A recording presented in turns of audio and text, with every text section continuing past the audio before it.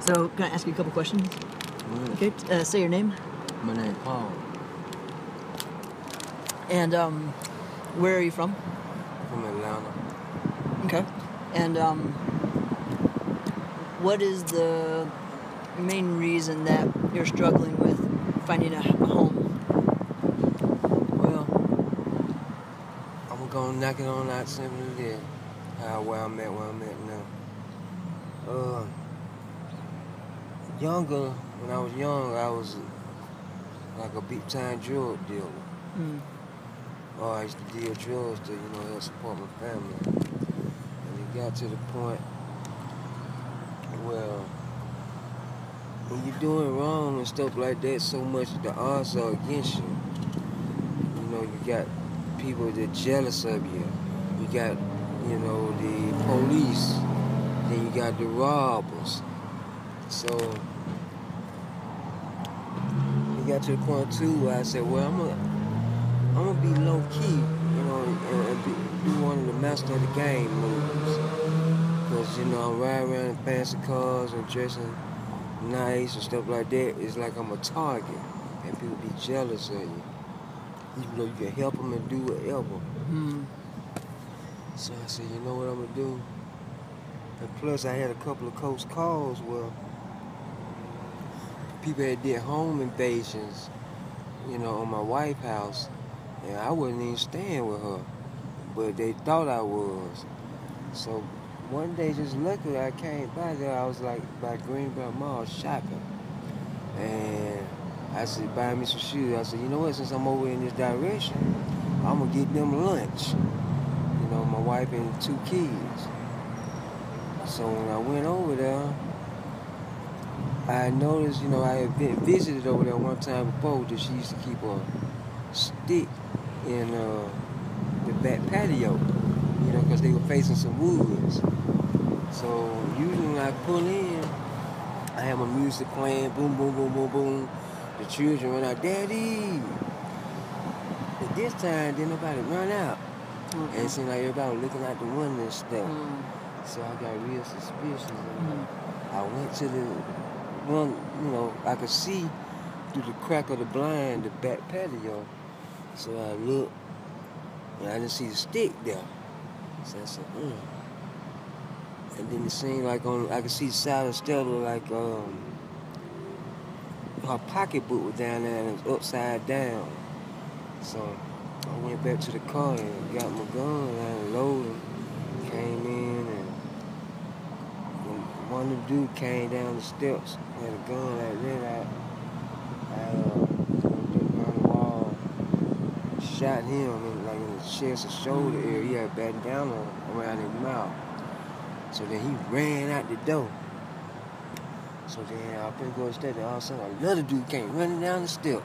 So I ducked behind the wall again. He didn't have a gun. He just trying to get away. So then he ran out, shot at him too. So, you know, it, it wasn't like I'm scared of them, but I ain't scared of what they'll do to me, but I know one thing, they hurt my family Mm. and my kids, that would hurt me. Yeah.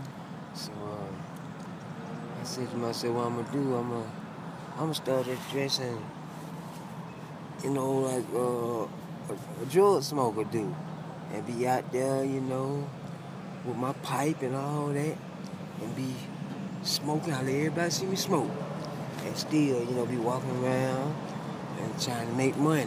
You know what I'm saying? But what happened? Stopping wasn't easy as I thought it was and I, I just couldn't stop. Was it uh, marijuana, cocaine? Cocaine, Yeah. yeah. And it got to the point where my whole life revolved around it. I thought I could steal, manage to smoke and deal, but the people, you know, they lose respect for you and people be trying and just, and then you smoking all the product up. It's hard to keep money and that's how you know where I'm at now. Homeless. What's that? I said homeless. Homeless. That's, Yeah. uh, that's ended so And far. that's my yeah. story. Wow. Mm. Oh my gosh. I can totally see how that would get you here. Yeah. Um, just two quick questions I want to ask you about your family and then how we can help, how people can help. Like, do you get to see your family anymore? Uh, I, I saw him a while, uh, over the summer. But it was a while, you know, they had moved out of town, out of town, and my wife was going to college. Oh, cool. So, you know, she got, was in a relationship with some other guy, Uh, but he in prison. So, you know, they moved back down here, you know. We, we done visited each other and stuff like that, but, you know, my kids, uh, my, my daughter still stay here, though, you know. But my young, my other daughter with her mama. mm, I think she's 12 or 13, but my uh, my daughter 25, but she stay like out Washington Road. she went. She's 25, and she stay like out Washington Road in East Washington. Point. Okay. Yeah, Yeah, man. Wow. Um, all right. Last question for you. yes, sir. Um, how can people help best? Help your situation best. Uh, all I'm trying to say is just pray for me. Mm, It's basically really up to me to, you know, stop using this and that. It's just some, uh, you know, yeah. So I just want I've been doing like now, but I know about 12, 13 years. You've been doing this homeless type thing for 12 or 13 years. Mm-hmm. Wow. So is shelter or food an issue? Is that hard to get? Sometimes, yeah. You run out of money, you know, you, you out of drugs and shit. You hungry then, Yeah. Um, and then you got no money, yeah. No shelter always a problem. 'Cause you, you have to deal with the elements out here. yeah. Like what they say, a hurricane here this way and all that. I gotta find somewhere to take shelter. Yeah. Yeah. And I do it. You do it. You make it happen. Yeah, man. Thank God, just like grace God. And by good people like yourself, I Hope I can help. take the time and, and do what you did. Um, Uh, cause like I said, you know, a lot of people say this and say that. But what a person can say anything, but what a person do, that's what that person is. mm, You know what I'm saying? It Mm. speaks for itself. It's one of the Mm. greatest things I Mm. heard my uncle say. It speak for itself. You're a Your uncle said that? person. Yeah. Yeah. hmm. Uh, That's fantastic. I I mean, mean, giving me thank you for money to get some cigarettes and stuff. Then you know, I call him every week.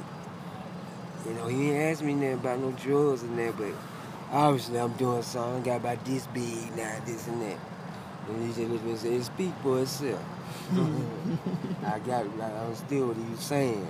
Hmm Yeah. All right. Um, cool. I won't make you say it anymore. Um, could I get a picture of you? It's okay if not.